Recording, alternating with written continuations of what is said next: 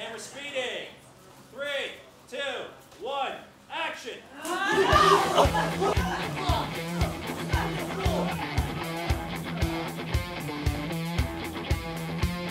For Poinciana, it's been absolutely amazing. You know, people are really coming together to co collectively. They're starting to see that there is a lot of talent in Cayman, from film, from music, from art.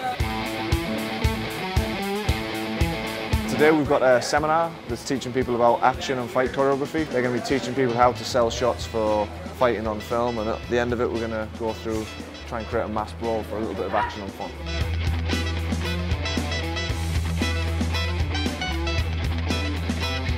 It's a lot of work that goes into it. It's always things you see in the movies, you think they're awesome, they're kind of quick hitters, bang, bang, done.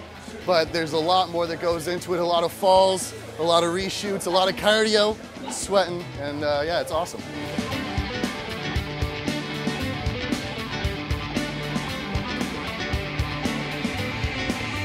I think I'm going to appreciate the actors a lot more when I'm watching a fighting film.